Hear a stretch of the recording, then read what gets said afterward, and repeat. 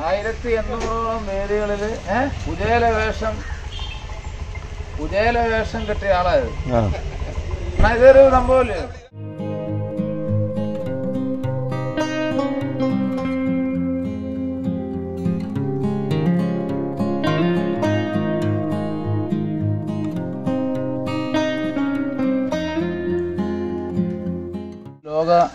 Radio ദിനമായിരുന്നു ആണ്. ഒരു കാലഘട്ടത്തിൽ മലയാളികളെ ഏറെ സ്വാധീനിച്ചിരുന്ന ഒരു മാധ്യമമായിരുന്നു. അവന്റെ ദൈനംദിന ജീവിതം ചിട്ടപ്പെടുത്തിയിരുന്നത് തന്നെ രാവിലെ ആരംഭിക്കുന്ന പ്രഭാതവേദി അതിനുശേഷം സംസ്കൃത വാർത്തകൾ ഏഴ് ഇരുപത്തിയഞ്ചിന് ദേശീയ സംസ്ഥാന വാർത്തകൾ അങ്ങനെ ആരംഭിക്കുകയായിരുന്നു. അന്ന് കലാസ്വാദകർക്കും വാർത്തകൾ അറിയാൻ താല്പര്യമുള്ള ആളുകൾക്കും ഏക വിനോദ ഉപാധി എന്ന് പറഞ്ഞാൽ റേഡിയോ ആയിരുന്നു. അന്ന് എല്ലാ വർഷവും ഏഴ് ദിവസം നീണ്ടു നിൽക്കുന്ന റേഡിയോ നാടകങ്ങൾ ഉണ്ടായിരുന്നു ഏഴ് മണിക്കാണ് റേഡിയോ നാടകം ആരംഭിക്കുന്നത്. ഏഴ് മണിക്ക് ആരംഭിക്കുന്ന റേഡിയോ നാടകം കേൾക്കാൻ ആറര കഴിയുമ്പോൾ റേഡിയോയ്ക്ക് മുമ്പിൽ നൂറുകണക്കിന് ആളുകൾ തടിച്ചു വീഴുമായിരുന്നു അന്ന് നാട്ടിൻപുറങ്ങളിൽ റേഡിയോ നിലയങ്ങളുണ്ടായിരുന്നു. ആ റേഡിയോ നിലയങ്ങളിൽ നിന്നും പുറത്തു വരുന്ന വാർത്തകളും കൗതുക വാർത്തകളും വിനോദ പരിപാടികളും ചലച്ചിത്ര ഗാനങ്ങളുമായിരുന്നു.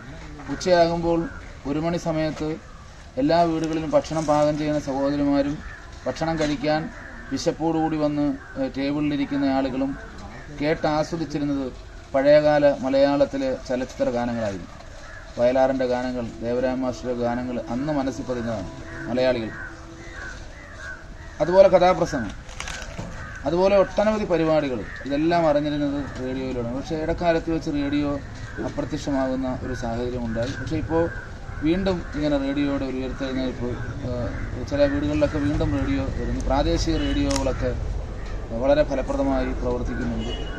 ഇവിടെ ഈ നാട്ടിൻപുറത്തെ ഒരു ഒരു ചേച്ചി നടത്തുന്ന ഒരു ചായക്കടയാണ് എന്റെ സുഹൃത്ത് രജിസാറ് പറഞ്ഞതിന്റെ അടിസ്ഥാനത്തിലാണ് രാവിലെ ഇവിടെ നൂറുകണക്കിന് ആളുകളാണ് ഇവിടെ ചായ കുടിക്കാൻ. രാവിലെ ഒട്ടനവധി ആളുകൾ വരും. രാവിലെ നടക്കാൻ പോകുന്ന ആളുകൾ വരും. വൈകുന്നേരവും ആളുകൾ വരും. ചായക്കടകളിൽ വിവിധ കാര്യങ്ങളെയൊക്കെ സംബന്ധിച്ച് ചർച്ചകളുണ്ടാവും. ഇതും ചായക്കടയും യഥാർത്ഥത്തിൽ ഒരു വാർത്താ സംപ്രേഷണം ചെയ്യുന്ന ഒരു വാർത്താ നിലയമാണ് എന്ന് വേണമെങ്കിൽ പറയാം. ഇവിടെ ഒരുപാട് വാർത്തകൾ ഉള്ളതും ഇല്ലാത്തതുമായി ഒരുപാട് കാര്യങ്ങൾ ഇങ്ങനെ ചർച്ച ചെയ്യപ്പെടും അപ്പോൾ ഇവിടെ ഇരിക്കുന്ന ആളുകൾക്ക് പാട്ട് കേൾക്കാനും ഒരു വിനോദമായിക്കോട്ടെ എന്ന് കരുതി ഇന്ന് റേഡിയോ ലോക റേഡിയോ ദിനത്തിൽ ചേച്ചിക്ക് ഇവിടെ വരുന്ന ആളുകൾക്ക് കേൾക്കാനായി ഒരു റേഡിയോ സമ്മാനിക്കാനാണ് ഇവിടെ എത്തിച്ചേർന്നത്. അത് കൊടുത്തു. ചായ കുടിച്ചു. ഓക്കെ നന്ദി നമസ്കാരം.